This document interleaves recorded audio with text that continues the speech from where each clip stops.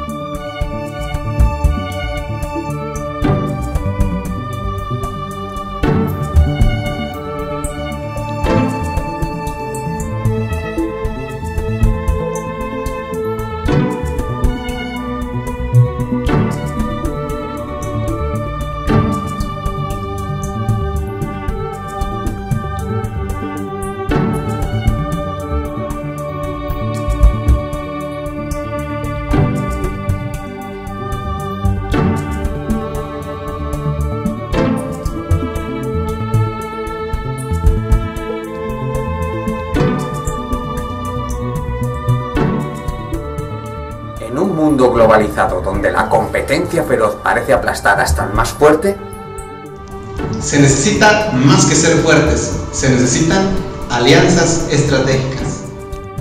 Cuando dos mentes se unen con un mismo objetivo en común, surge una tercera mente maestra que adquiere un poder superior a la suma de todas las mentes involucradas.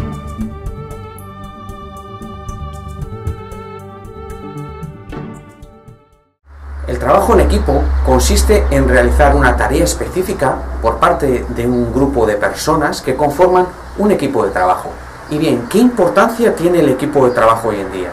Pues para ello vamos a hacer un breve análisis de las características, ventajas y beneficios del equipo de trabajo, para así comprender su grado de importancia.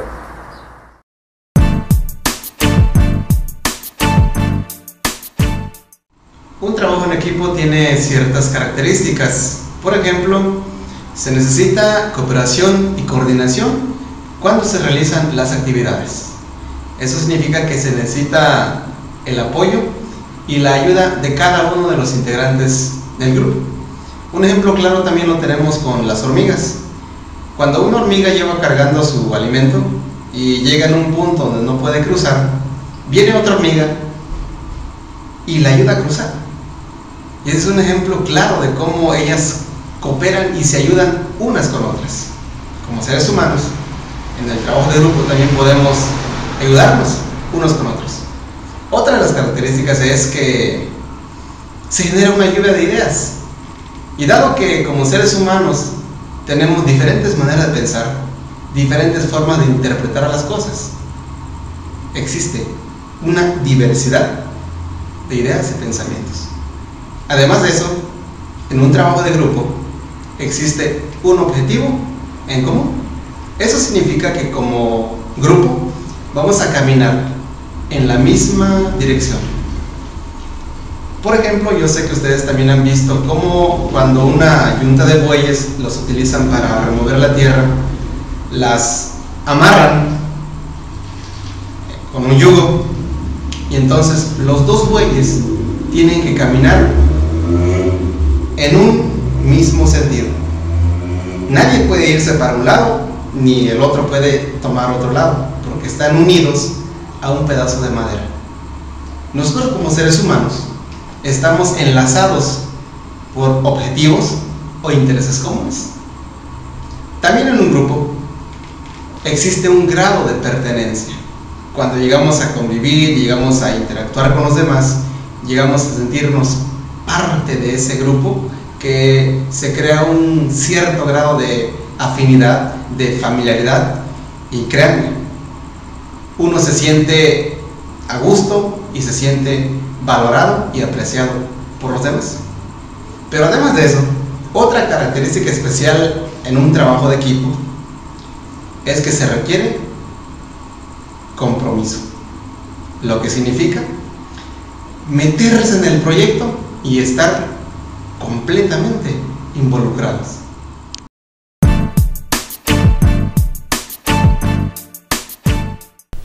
Trabajar en equipo tiene muchas ventajas si lo comparamos con trabajar de manera aislada. Y algunas de estas principales ventajas del trabajo en equipo son, número uno, cada miembro del equipo realiza tareas individuales, pero todas esas tareas están relacionadas entre sí para lograr un bien en común, un bien hacia todo el equipo.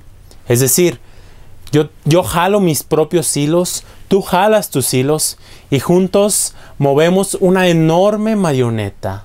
Por supuesto, todo esto debe beneficiar a cada uno de los miembros. La segunda ventaja son las ideas. Cuando trabajamos en equipo surgen nuevas ideas, ideas originales. Y muchas de esas ideas que surgen cuando trabajas en equipo son ideas que no surgirían si trabajaras de manera individual.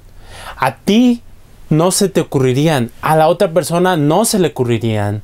A mí me ha pasado varias veces que cuando me uno a trabajar en equipo, digo, ah, es que se me ocurre esta gran idea que voy a compartir con los miembros del equipo para realizarla todos juntos en equipo. Esta idea a nadie se le va a ocurrir. ¿Y qué crees? Mi idea resulta ser muy pequeña con respecto a la idea que surge al trabajar como equipo. Es decir, mi idea se junta con la idea de otro, esa otra idea se junta con la idea de otros y al unirse surge una nueva y original idea que de otra manera no hubiera surgido. La tercera ventaja del trabajo en equipo es la, satisfacción de necesidades como individuos y la satisfacción de nuestras necesidades como grupo. Recuerda que cuando trabajas en equipo estamos uniendo la experiencia de una persona, tu experiencia, la experiencia de alguien más, los conocimientos de todos y mis propios conocimientos. Imagínate si yo armo un equipo de tres personas con diferentes experiencias, diferentes conocimientos, diferentes aptitudes y puntos de vista. Comparado con mi limitada experiencia, mi limitado conocimiento. Al unirse surge algo mucho mayor y así estamos satisfaciendo nuestras necesidades y podemos lograr cosas muy superiores a las que cada uno pudiera lograr. La ventaja número cuatro es la ventaja de que vamos a tener autorrealización como individuos y también una gran realización como grupos. Ese sentido de pertenencia a un equipo de trabajo, a un grupo, eso nos eleva nuestra, nuestra autoestima porque sentimos que estamos aportando algo de valor al equipo. Esa es una de las principales ventajas de trabajar en equipo que sentimos que aportamos algo valioso. La etapa, la ventaja número 5, perdón, es la ventaja de el compromiso. Y a mí me pasó mucho. Cuando yo empezaba a desarrollar proyectos por mi propia cuenta, yo me levantaba en la mañana y tenía mi lista de tareas por completar y decía, bueno, como que hoy no tengo ganas de trabajar, mejor hoy me pongo a ver televisión, avanzo un poquito, mañana avanzaré más. No es la misma, no es el mismo compromiso cuando tú trabajas solo que cuando sabes que los otros miembros del equipo dependen de tu trabajo. Déjame contarte una pequeña historia que te ayudará a entender un poco más el gran valor que existe en el trabajo en equipo. Había una vez un país que llamado el país de las cucharas largas. ¿Por qué se llamaba así? Porque había un cuarto que le llamaban el cuarto blanco, en el cual había cientos de personas sentadas alrededor de una mesa y en el centro había un manjar lleno de platillos exquisitos. Sin embargo, todas las personas de ahí se estaban quejando de dolor, estaban llorando porque se estaban muriendo de hambre. Cada uno de ellos tenía en su brazo atada una cuchara larga, una cuchara que no se podían quitar, y era una cuchara lo suficientemente larga como para llegar al centro de la mesa y tomar comida de ahí. Sin embargo, esta cuchara era tan larga que no eran capaces de introducir los alimentos en su boca, porque al tratar de jalar la cuchara hacia ellos, esa cuchara no había manera de que llegara a su boca, era demasiado larga. Es por eso que se estaban quejando, llorando y muriéndose todos de hambre.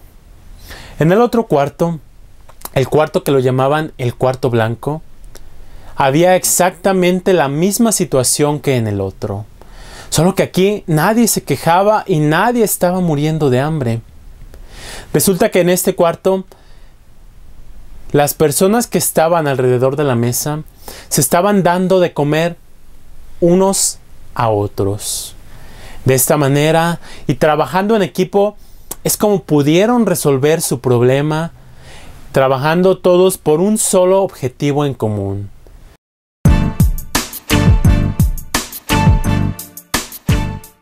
El trabajo en equipo nos genera múltiples beneficios. Entre ellos podemos nombrar que se obtienen resultados específicos, que se obtienen resultados que de otra forma serían muy difíciles de lograr, que se genera un ambiente de amistad, apoyo y crecimiento, que una persona eh, realizada da lo mejor de sí mismo y sigue aportando ideas y soluciones creativas, y que los resultados se obtienen en tiempo y de una forma programada. Y en este punto me gustaría compartirte la historia de Bob Moore. Bob Moore fue el fundador de la compañía Bob Red Mills en Estados Unidos y esta compañía se, dedica a eh, la alimentación natural. Bob Moore cuando eh, acabó su, vida laboral decidió eh, ceder su empresa a, a, sus empleados. Ha subido bien, regaló la empresa a sus empleados. Y esto se produjo porque Bob Moore lo que hizo fue eh, tratar a los empleados desde el principio de una manera eh, muy familiar, como si fueran realmente su, propia familia. Entonces esto generó un vínculo muy fuerte entre los empleados y Bob Moore y eso hizo que eh, el, equipo de trabajo de la compañía sería un equipo fantástico y haría crecer muchísimo la empresa. De esta manera, la empresa, como te digo, creció muchísimo y al final de, de sus días de la vida laboral de Bob Moore, no se lo consiguió dos veces y lo que hizo fue regalar la compañía a sus empleados. De esta manera puedes comprobar cómo el trabajo en equipo eh, se obtienen con el trabajo en equipo muchísimos beneficios, pero eh, este es un beneficio adicional a un trabajo excelentemente realizado. Trabajar en equipo es una de las maneras más poderosas de lograr casi cualquier cosa, cosas que parecen imposibles de lograr por nosotros mismos. Cuando trabajamos en equipo, unimos fuerzas, así que yo quiero invitarte a que busques gente que tenga los mismos valores, los mismos principios y sobre todo la misma visión que tú para lograr trabajar juntos por ese objetivo en común, aquello que hasta la fecha no has logrado, no has podido lograr por ti mismo. El trabajo en equipo es como la unión de varias cuerdas. Una sola cuerda es muy débil y cualquiera la puede romper. Pero cuando se unen varias cuerdas débiles, esta se hace más gruesa y difícil de romper. Si tienes un proyecto grande, no necesitas ser más fuerte, necesitas trabajar en equipo, porque es entonces cuando te vuelves invencible.